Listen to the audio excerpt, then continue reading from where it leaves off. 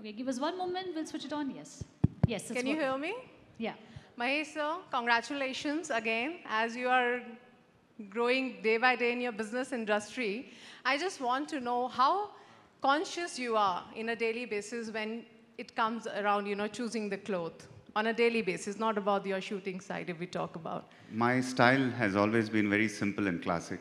So I always wear what I'm comfortable in, and uh, that's how I am. It, it, if you have to name one outfit you're comfortable all the time, what was that? What I'm wearing right now, okay. jeans and a checked shirt, always. And have you just seen the all, they are very trendy clothes. So do you remem- uh, remember, sir, when you went for your first romantic date with Namrata ma'am, what you were wearing and how conscious you were that day? Do you remember that date?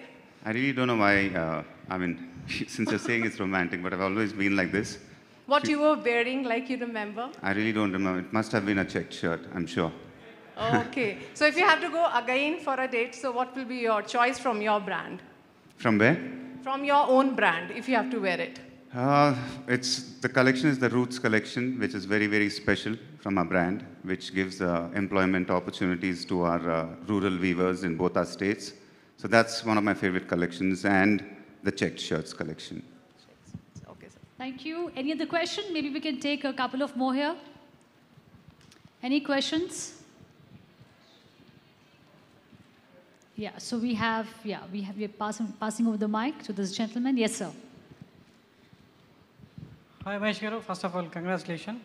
So, how did your collaboration with uh, Spoyl came about? Uh, I'll, I'll- speak first, or you want to speak? Okay. I'll take the question. Um, so, the first time we ever wanted to build a celeb brand, and the first celebrity that we ever thought of uh, to work with is none other than Mahesh sir. Um, met with Mahesh sir and Namrata ma'am and pitched the idea of Humbl from conceptualization to, to taking it live. And uh, they really liked it. Um, and thanks for the uh, confidence you have bestowed on us, sir. So it's, uh, we'll be eternally grateful for that. So I think that's how the collaboration sort of happened. And now you're seeing the, uh, the brand to be taking live. Any further questions? Anyway, Yes, so, yeah, ma'am, can we please pass over the mic? Neha, we'll just come back to you. Yes, ma'am. Sir, please pass over the mic to her.